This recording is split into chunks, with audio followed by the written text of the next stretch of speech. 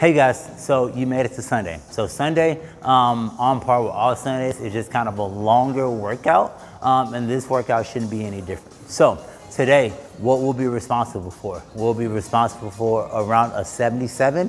Yes, you heard that correctly, 77, around a 44, and a round of 11.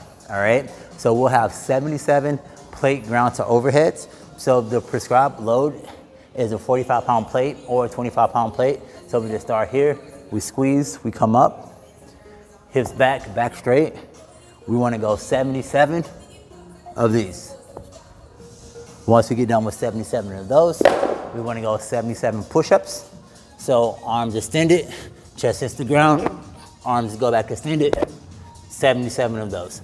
Once we get done with 77 push-ups, we want to go 77 sit-ups, 76, 77.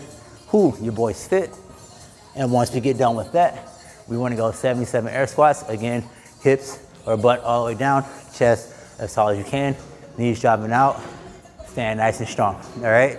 Once we get done with 77 of each, we'll go to 44 of each. Once we get done with 44 of each, we'll go 11 of each.